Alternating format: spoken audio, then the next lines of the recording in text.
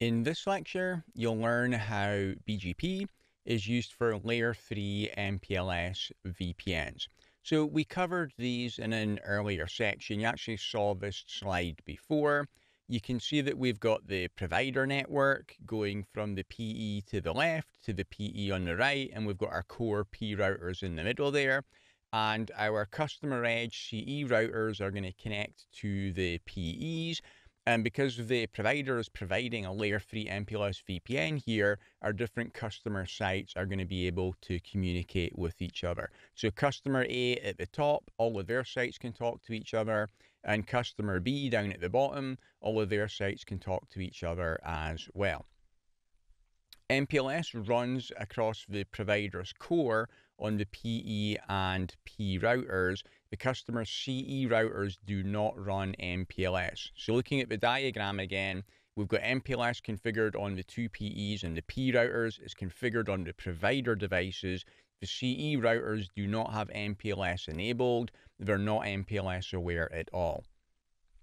The customer CE routers peer at layer 3 with the provider PE routers. So they see the provider router and they're going to exchange routes with the provider router as well. They can either use static routes or a routing protocol.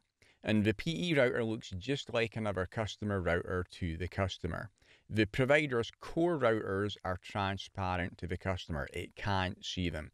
And the customer sites are on different IP subnets. If we look at customer A, they've got 10.0.0.0 slash 24 up in the top left, 10.0.1.0 in site over up in the top right. Okay, so that's everything that we covered already. Actually, you saw configuring the static routes and the CEs earlier as well. So here on CE1, we configure a route, IP route 10.0.1.0, pointing to the site in the top right. The subnet mask is a slash 24. The next hop address is PE1 at 192.168.0.1. And on CE2, we've got IP route 10.0.0.0 pointing to the site on the left, slash 24 again. And the next hop address is 192.168.1.1 on PE2.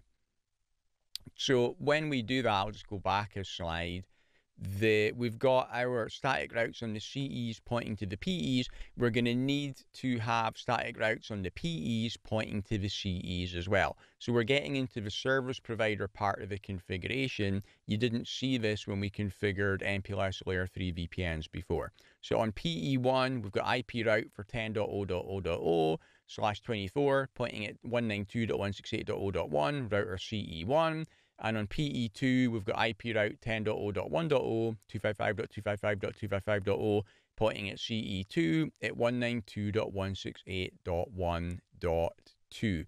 So at that point, CE1 knows to send traffic to PE1 when it's trying to get over to CE2, and CE2 knows to send traffic to PE2 when it wants to send traffic over to CE1.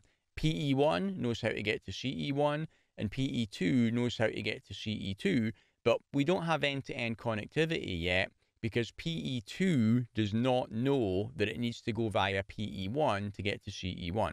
And PE1 does not know that it needs to go via PE2 to get to CE2. So PE1 and PE2 need to share the static routes that you see on the slide now with each other to get the end-to-end connectivity. So we need a way for them to share those routes with each other. There's not they're not typically physically connected to each other, the two PEs. There's usually going to be P core routers in between them. So a routing protocol is required to share these routes, which is scalable enough to support many customer routes and also supports neighbors which are not physically adjacent, which are not layer 2 adjacent. So that sounds a lot like BGP, right? And yes, that's what is going to be used, BGP. So BGP is used internally between the two PE routers to share the customer routes with each other. So you can see that PE1 tells PE2 customer A can get to 10.0.0.0 slash 24 via me.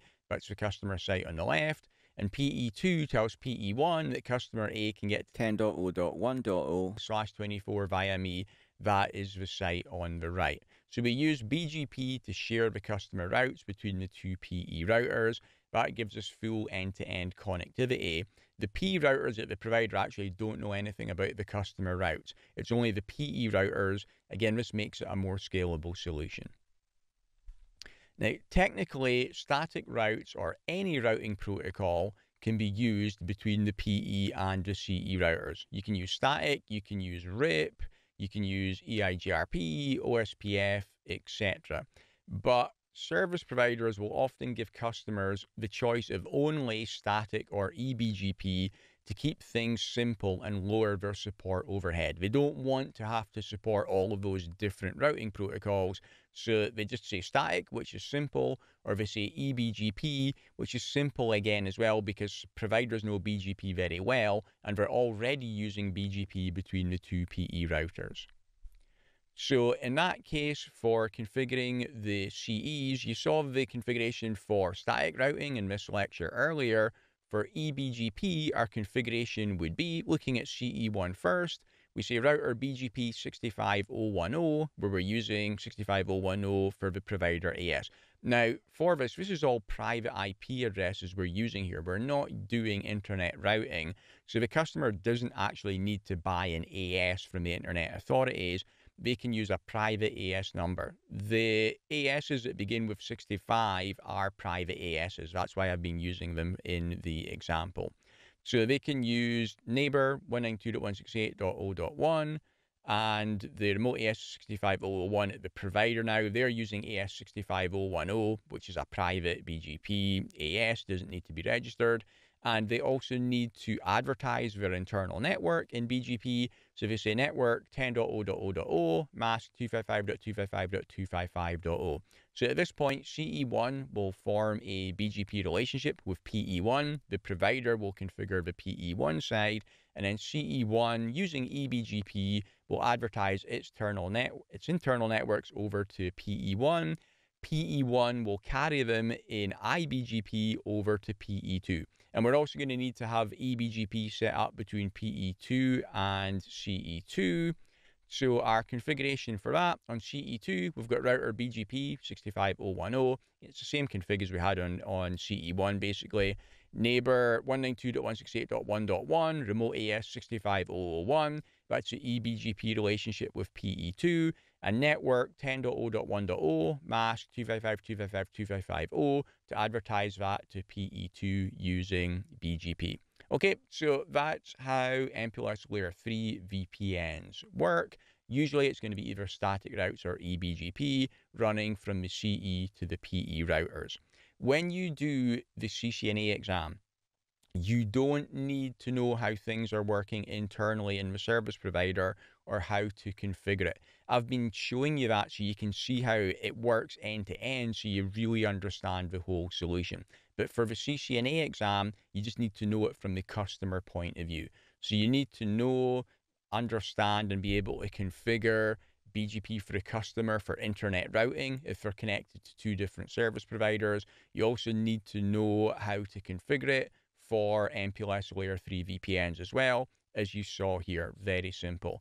Again, it's eBGP, so our verification commands will be the same as usual. We'll have show IP BGP summary to check that the neighbor has come up, show IP BGP to check that routes are being received via BGP, and show IP route to check that they're making it into the routing table. Thanks for watching. If you want to get hands-on practice with Cisco networks for free, then you can download my 400-page CCNA lab guide which you can see above my head right now. Also check out the video about my CCNA course. It's the highest rated course online. Thanks.